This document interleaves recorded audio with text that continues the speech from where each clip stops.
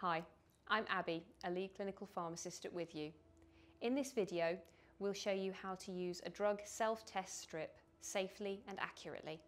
Firstly, gather all the things you'll need. A container of clean water, a 5ml spoon, a teaspoon will do, something to measure the sample with, for example, a scoop if you have one, or a knife, something to hold the test mixture, your sample to test, and your test strip. These are the types of kit available from With You. Today we're using the nitazene test, but they all work in much the same way. This is the amount of powder needed. If you have a scoop, use it. If not, the amount of powder that fits into the zero on a 20p piece is about right. Mix the sample thoroughly and crush it well.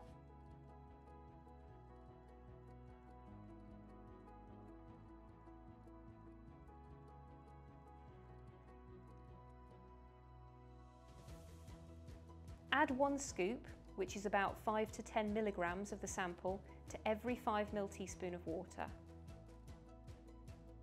Stir it well until it's fully dissolved.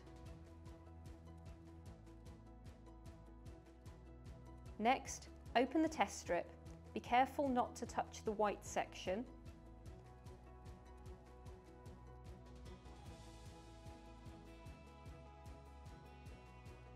Holding the coloured end, or the end which says which strip you're using, dip the test strip into the sample for 15 seconds.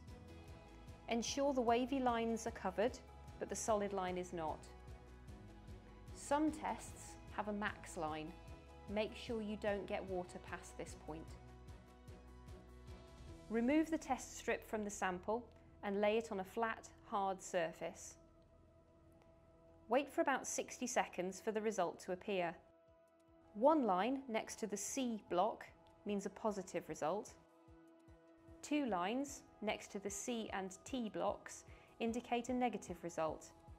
It doesn't matter how faint the lines are, Two lines always mean a negative test.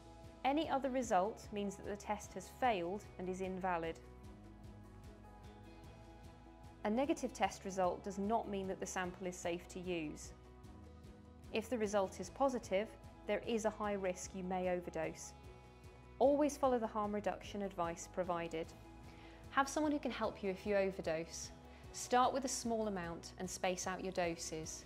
Try to take one drug at a time. If someone overdoses, put them in the recovery position or on their side and dial 999. If you have naloxone, give it and stay with the person. They may need multiple doses until help arrives. Stay safe and always seek help if you need it. For more information, contact with you or your local support service.